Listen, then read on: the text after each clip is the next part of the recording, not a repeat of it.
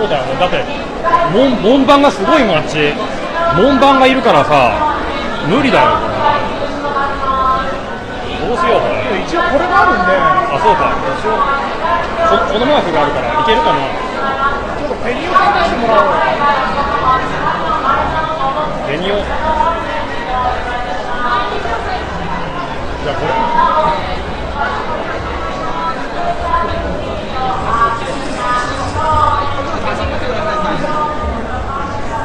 いけたいけたぞどうしましょういやこあのゲートを突破したぞ、でもここからがあの問題なんだ。よ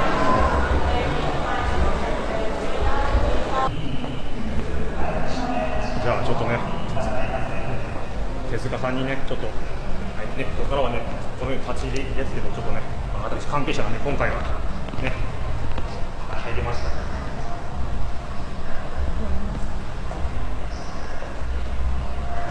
こからは控室あのここじゃねえの、はい。ここなんですけど、うんあのいや選手選手はうん、なんかボブ・サップがいたんだよ。なんで？なんか。ここでレスラーにしばかれたら本当あのーどうすりゃいいの？あこあここがインタビュースペースね。へえじゃあここで後であのーインタビューできるってことね。なんでそんな怖がってんの？なんか怖さなんかビビってんじゃん。お前図体でかい。飲みの心臓しやがって。あサップしてあいた。サップがいた、うんじゃあちょっと取っといて。あの。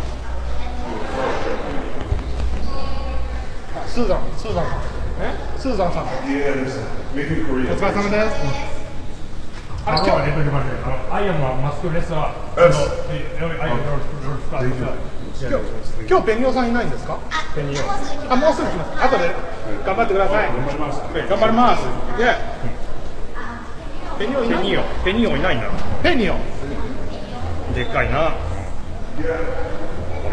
これ。これこれあの手塚さんの首が、ま、飛ぶんじゃないの？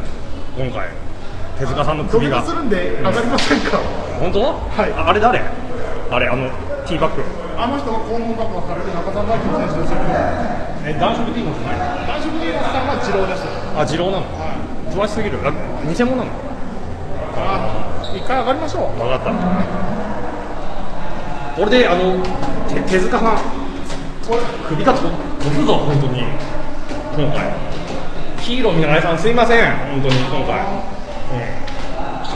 ん、今回あのヒーローさんの顔に泥を塗ってしまいましてすいませんでしたなんか。さ汗だと思ったら涙かもしれません。あ本当？まずいことしちゃったねこれは。